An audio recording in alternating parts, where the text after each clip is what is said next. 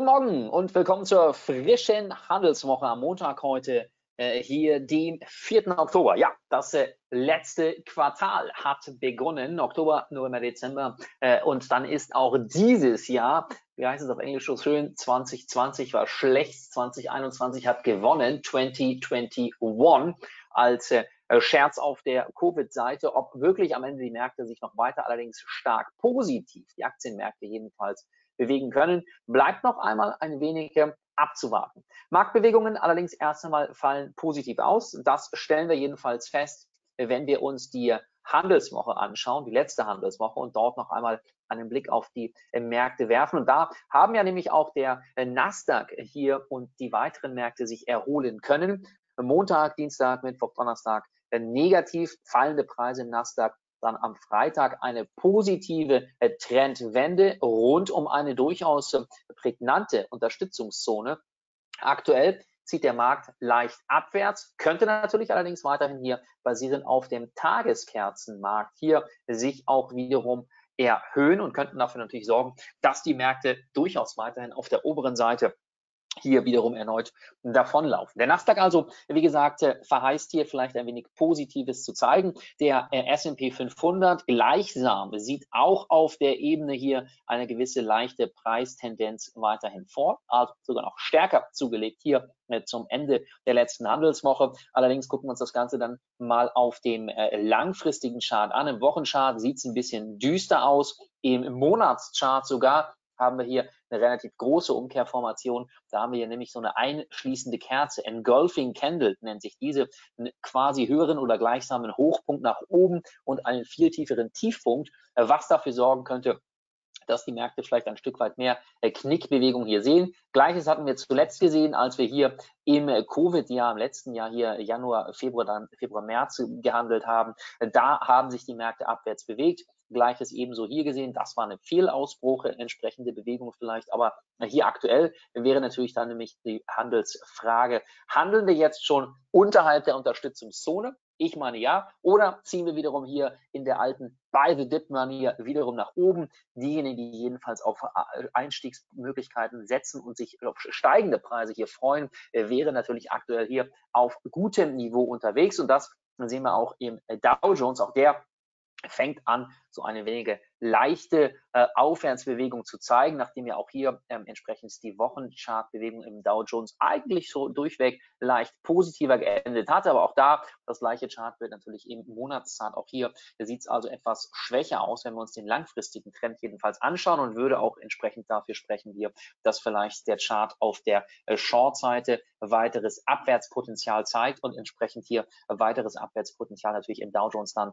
äh, wiederum hier andeuten könnte. Also Möglichkeiten haben wir hier und die Möglichkeiten sprechen, wie gesagt, hier äh, zweierlei äh, Sprache. Ähm, der Nasdaq vielleicht noch einmal dann rückblickend hier äh, im Wochenchart ebenso ein wenig schwächer sogar bereits unterwegs. Auch da deutet das ganze Bild hier eher darauf hin, dass vielleicht mehr Potenzial auf der Short-Seite zu sehen sein könnte, denn auch der Nasdaq zeigt ja hier äh, jetzt aktuell sogar ein Stück weit mehr äh, fallendes Potenzial als steigendes Potenzial, jedenfalls von einer gewissen Trendwende hier, äh, Kehrtwende hier entsprechend sehen. Ähm, die Möglichkeiten, wie gesagt, hier auf der Ebene der positive Markt auf der oberen Seite könnte natürlich ein wenig mehr Preisdruck hier preisgeben. Wir haben es gesehen hier, die Möglichkeiten vor allen Dingen auch hier im relativen Stärkeindikator könnten andeuten, dass natürlich der Markt sich auf der Long-Seite hier bewegen sollte und äh, entsprechend äh, auf der Oberseite natürlich weiterhin äh, ein Stückchen weit vielleicht hier eingedämpft werden könnte. Also das sind die Möglichkeiten, die aktuell vielleicht aus den Aktienmärkten sich ergeben. Dazu sollten wir uns angucken, was wir entsprechend hier äh, von dem äh, Bondmarkt sehen und da stellen wir fest, dass, äh, dass hier also die Bondbewegungen ein Stückchen weit schwächer gehandelt werden. Das heißt, die Zehnjährigen ziehen langsam abwärts, äh, die, die, die 20-Jährigen im ETF. Wir sehen allerdings vor allem hier den äh, Coupon auf die äh, zehnjährigen äh, äh, Märkte oder im zehnjährigen Anleihenmarkt, Rentenmarkt dort leicht nach oben ziehen. Das heißt, die letzte Handelswoche hatte sich positiv gezeigt, deutet allerdings zunächst hier weiterhin unterhalb oder an der 1,5 Prozent Marke vielleicht darauf hin, dass natürlich der Markt vielleicht auch wiederum nach oben ziehen könnte. Eine prägnante Zone, Handelsmarkt spricht für mich erst einmal eine deutliche positive Sprache hier. Ob das Ganze allerdings nur temporär zu sein mag hier oder zu sein würde, bleibt mal zu erwarten. Wie gesagt, die Situation in Großbritannien äh, vielleicht gar nicht mal äh, so uninteressant aktuell. Äh, in dem Zusammenhang ebenso sehen wir, und das sind auch die Nachrichten hier von Bloomberg, warum sich Großbritannien gerade ein Stückchen weit selber isoliert und dann anfällig natürlich sein dürfte in die Zukunft schauend. Wir sehen aktuell die, ähm, die Situation, Rishi Sunak, der, ähm, der Schatzkanzler dort, spricht davon, dass er also die Märkte nein, die Bevölkerung in dem Fall hier ähm, äh, rasch unterstützen möchte, und zwar bis zu 500 Millionen Pfund dort, um Menschen in Lohn und Brot zu bringen. Äh, Im Detail äh, sind da folgende einzelne Punkte, zum Beispiel ein 3000 Pfund äh, oder eine 3000 Pfund Initiative oder Unterstützung für Unternehmen, entsprechend dort also neue Mitarbeiter ähm, äh, einstellen zu können. Geht natürlich eher auch um die jüngere Gesellschaft mit dortigen Kickstarter-Programmen, die also entsprechend die Arbeitsmarkt, die Arbeitsmärkte unterstützen soll. Der Punkt und die Frage, die natürlich hier ansteht, nach wie vor ist äh, definitiv der, der wichtige Punkt entsprechend, inwiefern diese äh, Krise aktuell Langfristigkeit mitbringt. Genau das, was wir äh, hier entsprechend auch von Boris Johnson gehört haben, das also sagt, dass wir jetzt gewisse Brexit-Gesetze äh, für Truckdriver, für vor Dingen Geflügelbauern oder Geflügelarbeiter Geflügelfarmen, dass man dort also jetzt nicht die Brexit-Gesetze komplett wiederum eindreht, rückkehrt, äh, rückgängig macht. Im Gegenteil, man will also weiterhin natürlich dort äh, an der Lage festhalten und schauen, dass man die Situation mit Mordmitteln äh, wie beim Brexit veranstaltet, also entsprechend weiterhin äh, hier äh, ja entsprechend ausschöpft. Allerdings der Punkt natürlich, der dann gesamterweise natürlich dann eintreten dürfte, dass entsprechend die äh, Krise aktuell sich vielleicht für eine gewisse Weile äh, verstärken dürfte. Aber mit der Unterstützung natürlich hier von dem lieben Rishi Sunak, ob das zu den gewünschten Ergebnissen führt, dürfte einmal spannend sein, hier spannend werden, abzuwarten. Wir können uns das Ganze natürlich ein Stückchen weit vielleicht von außen anschauen, aber die Lage, wie sie sich aktuell präsentiert, deutet nicht unbedingt darauf hin, dass man also hier auf die Führungsebene global gesehen vielleicht äh, zieht, sondern eher versucht, hier Löcher zu stopfen, wo sie denn auftreten. Gucken wir uns dort die Märkte an. Und zwar haben wir dann natürlich festzustellen, ebenso, dass der US-Dollar hier eine gewisse Stärke hat zeigen können in den letzten Handelstagen, respektive natürlich eigentlich schon Wochen wiederum. Hier mal im Pfund ausgehend oder vom Pfundmarkt ausgehend Jedoch äh, sich jetzt gerade das Pfund wiederum leicht zurückarbeitet. Und jetzt dürfte sich dann bald entscheiden, wie es hier um die 1,36er Marke weitergeht und ob und wie der Markt sich dann eventuell weiter aufwärts bewegen könnte. Möglichkeiten sehen hier vor, dass wir vielleicht durchaus weitere Preissteigerungen sehen könnten. Das Pfund erst einmal sich also dann bis zur Widerstandslinie nach vorne arbeiten könnte dann dürfte sich natürlich hier weiter entscheiden, wie die Marktbewegungen äh, entsprechend weiterlaufen. Das heißt, hier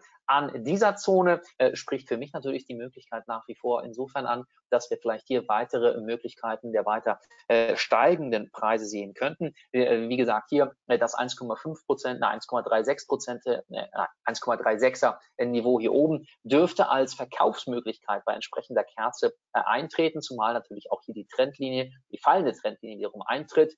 Parallel dazu sieht der Euro insgesamt sogar eher schwächer aus, was ich eher interessant finde, vor allen Dingen natürlich gerade in der aktuellen Krise oder natürlich vor allen Dingen in der aktuellen Situation, in der sich dann auch Großbritannien verhält. Aber auch hier sehen wir gerade, dass der Euro also zulegen kann, sich ein Stückchen weit hier also äh, behaupten kann. Trotzdem der Trend natürlich nach wie vor eher schwach bleibt. Und hier sehen wir ganz klar die langfristige Bewegungsebene. Wir haben uns ja vor einigen Wochen, Monaten noch darüber unterhalten, ob nicht vielleicht ein Aufwärtstrend wiederum hier im Euroraum oder für den Euro eintreten könnte. Das Ganze allerdings hier erst einmal wiederum natürlich sich in Luft aufgelöst heißt für mich, wir haben hier den gleitenden Durchschnitt, der als Widerstandszone äh, sich dort zeigen dürfte. Wir haben auf der anderen Seite die fallenden Preisbewegungen auch auf dieser Ebene, die wie gesagt hier darauf andeuten könnten oder darauf hindeuten könnten, dass fallende Preise einstehen. Heißt also, Möglichkeiten haben wir hier durchaus die eine oder andere die natürlich darauf hinzeigen könnte, dass vielleicht hier ein wenig mehr Potenzial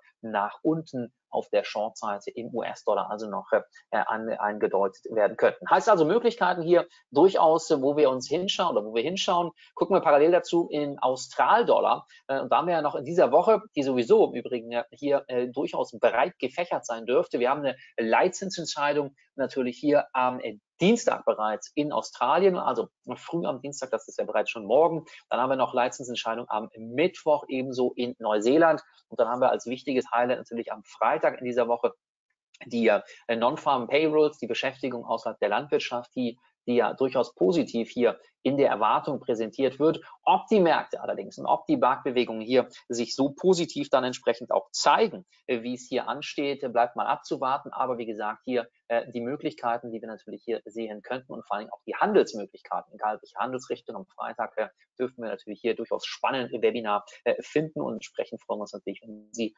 dazukommen. Der Aussieht allerdings, und darum geht es gerade, zieht hier eher ein Stückchen weiter nach, vor, nach vorne. Das heißt, ähm, die Unterstützungszone hier, die imaginäre Unterstützungszone insofern, insofern jedenfalls hier, die wir hier gerade so sehen können, könnte andeuten, dass eine gewisse leichte Preissteigerung hier gesehen werden könnte. Aber auch das hier im Monatschart deutet eher vielleicht noch weiter fallende Preise hin. Das heißt, langfristig gesehen deutet der Aussie äh, immer noch auf eine gewisse oder könnte auch eine Schwächephase hinzusteuern, wenn, wie gesagt, der US-Dollar hier weiterhin nach vorne prescht. Und das wäre natürlich genau der Punkt hier, im Australdollar in Richtung der Aktienmärkte. Zieht also der Aussie vielleicht wiederum langsam nach unten oder und ähm, äh, deutet das uns vielleicht hier auch quasi als kleines Vorzeichen hin auf eine weitere Schwächephase in den Aktienmärkten. Äh, wäre natürlich die, die Frage insgesamt hier. Erst einmal stehen die Zeichen im Aussie etwas auf grün. Auch hier die Trendlinie, wie gesagt, nach oben hin äh, durchbrochen oder angetestet, äh, zeigt für mich jedenfalls durchaus hier äh, weiteres Potenzial vielleicht einer leichten Besserung der aktuellen Lage und vor allen Dingen auch einer leichten Besserung vielleicht hier insgesamt aktuell an den Aktienmärkten mit möglichen, äh, jedenfalls möglichen positiven äh, äh, oh ja, Bewegungen auf der äh, Oberseite.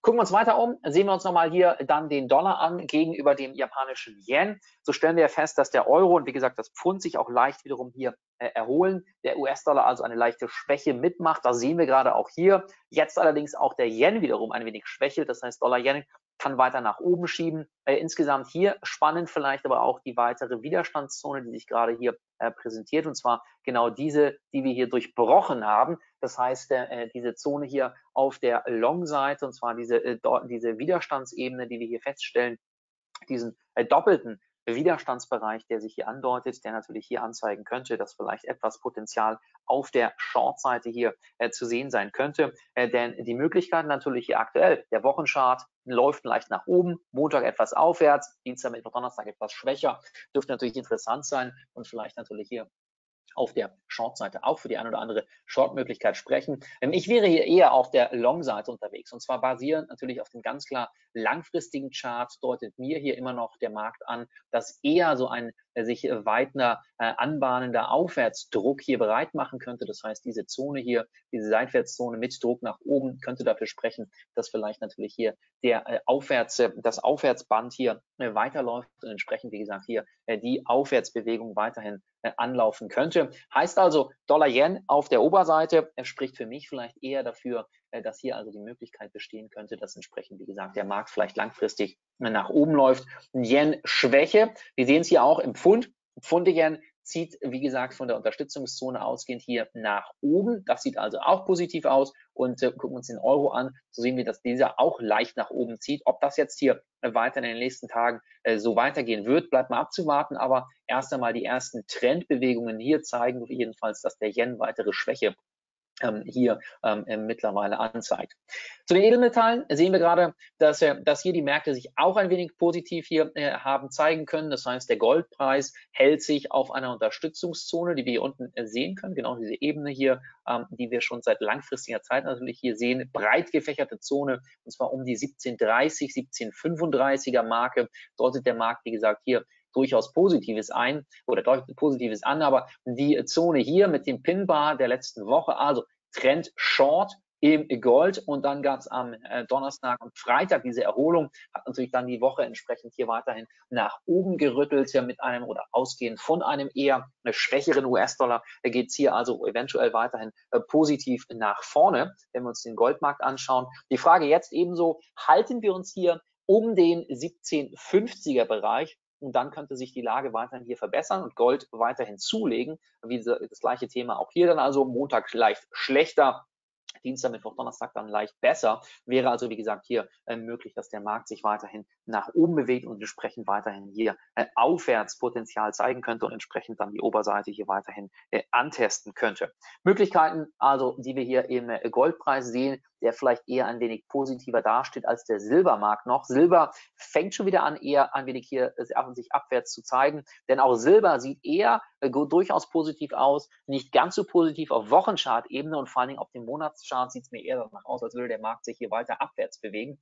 Denn auch hier äh, könnte natürlich dann, sollte er denn eintreten, der stärkere Dollar weiterhin die Märkte nach unten ziehen. In dem Zusammenhang sollten wir uns einmal kurz noch den äh, Dollar-Index anschauen, denn der zieht auch wiederum langfristig gesehen nach oben. Das heißt, äh, wir haben hier gesehen, dass der letzte Handelsmonat, äh, der September also positiv hatte sich zeigen können. Das heißt, auch die Handelswoche am Ende deutete eine gewisse ja, mögliche Ausbruchsformation hier an äh, im äh, Dollar-Index. Heißt also, hier der Markt könnte weiter nach oben ziehen. 95er Ebene äh, quasi schon in greifbarer Nähe. Heißt also hier, Dollar-Index zieht eventuell weiter nach oben und zeigt natürlich dann hier weiterhin einen Dollar, einen stärkeren Dollar. Stärkerer Dollar könnte natürlich dann auch ebenso die Metalle, insbesondere natürlich den Silbermarkt hier auf der Short-Seite weiterhin bewegen und entsprechend hier für weiterhin äh, fallende Preise sorgen. So, Shahab, Euro Yen habe ich schon angeschaut. Genau, also äh, Gruß kam noch vom Robert. Franz fragt, äh, guten Morgen, wie sieht es aus mit dem Dollar Cut? Ich bin hier auf Long. Das wäre nämlich noch mein letztes Thema für den heutigen äh, Tage.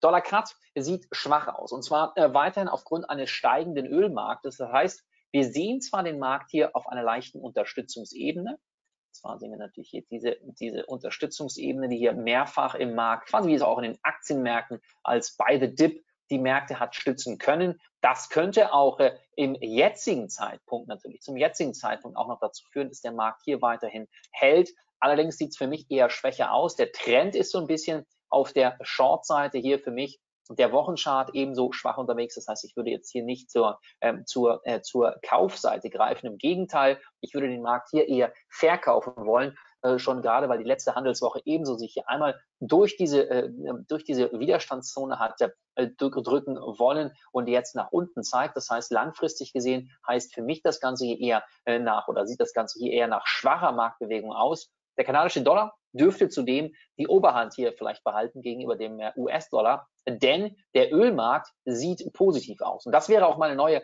Handelsmöglichkeit hier und Handelsidee, äh, die ich gerade hier im Markt insofern äh, in dieser Woche gerade sehe als erstes. Wir hatten die letzte Woche ja nur Gewinntrades, kommt ja auch manchmal vor, dass wir entsprechend richtig gelegen haben. Von daher halten wir uns hier ein Stückchen weit vielleicht zum einen zurück, zum anderen allerdings sieht der Ölmarkt durchaus positiv aus.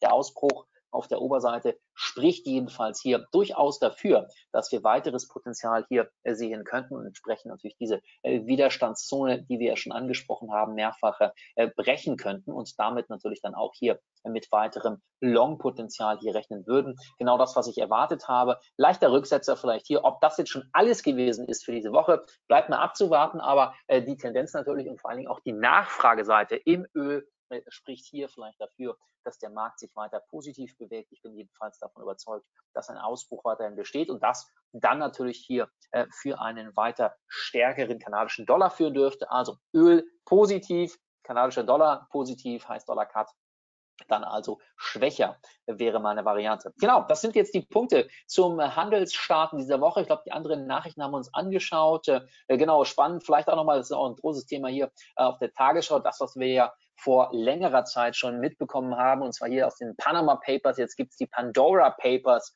die großen Verstrickungen der großen, vielen äh, Reichen, die ihr Geld im Ausland verstecken, vielleicht äh, einfach gleich direkt ins Steuerparadies zu ziehen. Da bietet sich zum Beispiel auch aus eigener Erfahrung jedenfalls Singapur an. Dort ja das Steueraufkommen insgesamt ein Stück weit geringer, um äh, dann entsprechend solchen Problemen vorzubeugen. Das war jedenfalls nicht mein Plan, ist aber natürlich aus der damaligen äh, Zeit, als ich noch angestellt war, einfach dann so gewachsen und hat bisweilen auch viel Spaß gemacht für mich, was jedenfalls meine berufliche äh, Vergangenheit und vor allen Dingen jetzt auch dann weiterhin Zukunft anbelangte. Aber in dem Zusammenhang hier äh, Geld und Kapital global hier hin und her zu verschieben. Naja, das eben, also das, was man jetzt natürlich hier dann zum Glück endlich auch rausfindet und schaut, wie es hier weitergeht. Also, da dürfte noch einiges mehr passieren, ob es am Ende zu äh, großen Verwerfungen, Verstrickungen dann führen wird, die jetzt hier gerade zutage treten. Bleibt mal abzuwarten. Ich vermute einmal vielleicht nicht unbedingt, aber hoffe natürlich auch, dass die Wahrheit in diesem Zusammenhang weiterhin ans Licht kommt. In diesem Sinne, lassen Sie sich nicht unterkriegen. Alles Gute, viel Erfolg weiterhin in den Märkten. Bis bald. Ciao, ciao.